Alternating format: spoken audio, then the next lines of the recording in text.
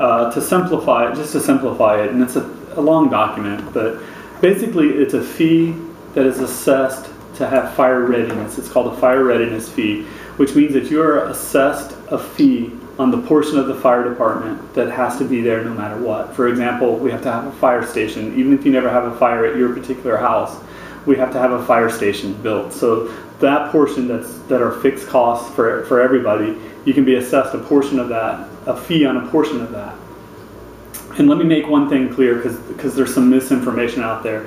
Nobody in any way, shape, or form will ever be turned away for fire service in the city of St. Petersburg or any of the people that we have cooperative agreements with. That will never happen. So when people are saying that's going to happen, that is just flat out not true. Um, so um, the attorneys came, a legal firm was hired to set it up um, legally. There's a lot of, uh, there's an ordinance that has to happen. There's a process that has to happen to do that. And council voted to go forward with, with the, having the attorneys set up the process. The process has now been set, set up and uh, council has voted the first time to approve it to, to go to a public hearing, which comes up this Thursday. Um, and I voted against it um, both times for, for a variety of reasons, but basically the fee itself is on uh, for, for fire readiness. You're paying a fee to have the fire department ready to serve you if needed. Um, is how it's being billed.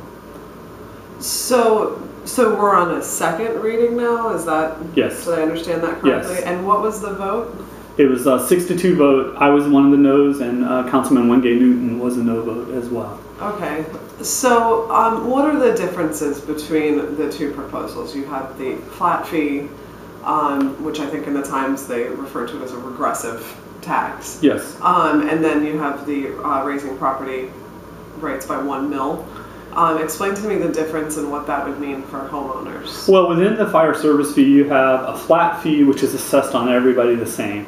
So it may be $5 a month or it may be $6 a month.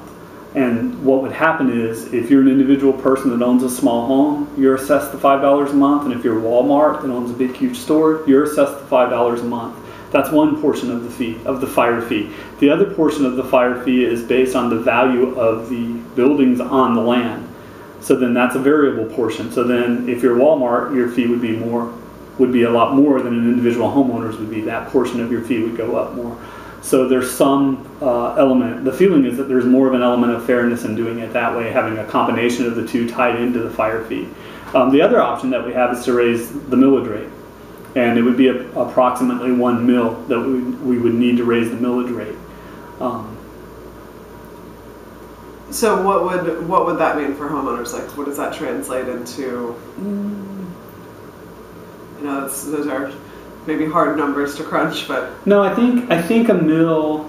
If I, and I, I could double check this for you, but I think a mill is one dollar per thousand of value.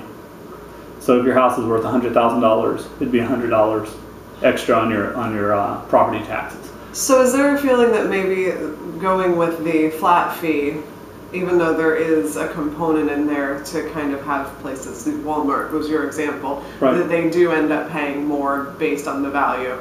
Is there still though a feeling that it's maybe a little bit disproportionate to people who have lower um, lower cost homes versus people who have multi-million dollar yes, yes, absolutely. You would pay more. The the people that have less would pay less on the on the property tax, and the people who have a lot more expensive house would pay more on the on the on the uh, property tax.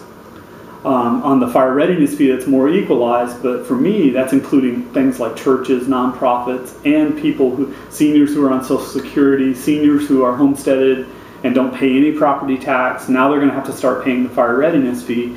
And I think that's, there's an element of fairness there that I want to maintain. And I, I was, um, it bothered me, especially as a social worker, that that now we're going to say this is a fairer way to do it because grandma who lives on $800 a month of Social Security now is going to pay a little bit into the system. Well, I don't want grandma who's living on $800 a month Social Security to pay into the system.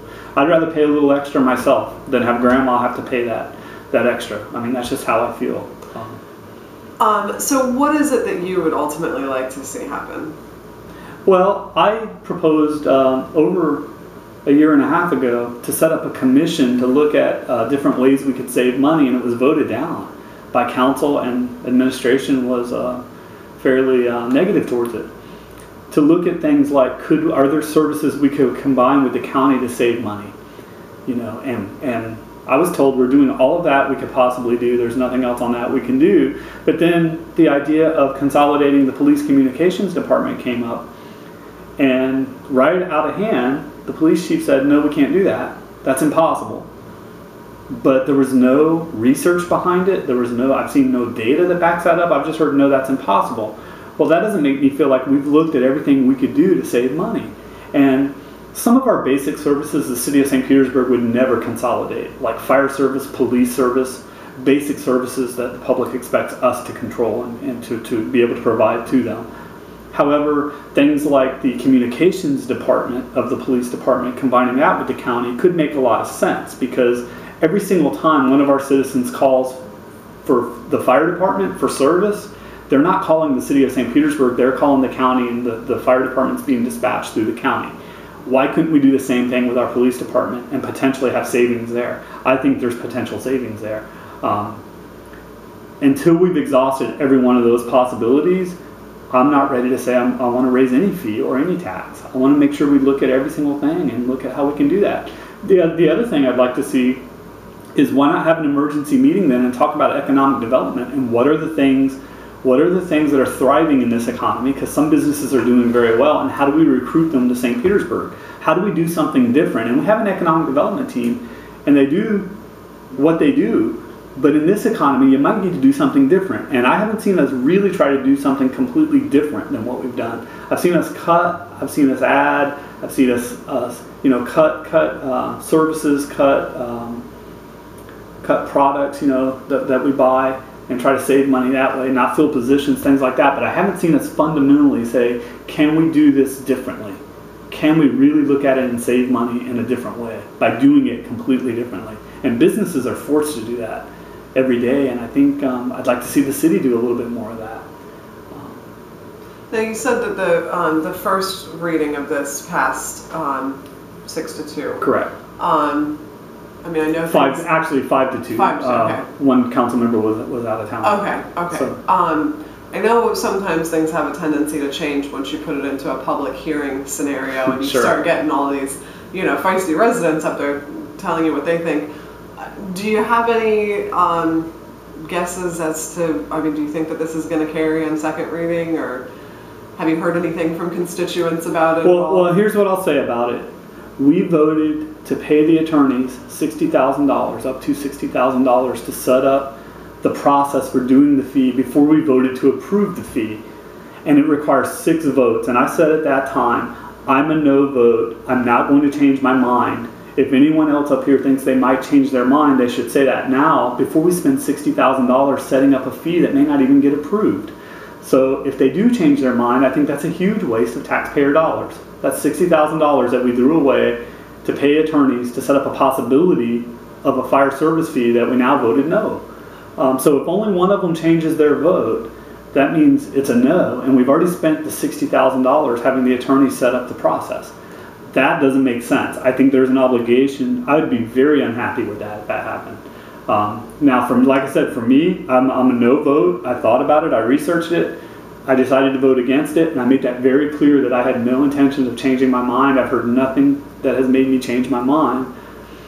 Um, but if the, fa- if the fact is people were having doubts about it, they shouldn't have approved the money to set it up in the first place before they voted to approve it. And I thought that was a mistake, and I said that, but nobody agreed with me.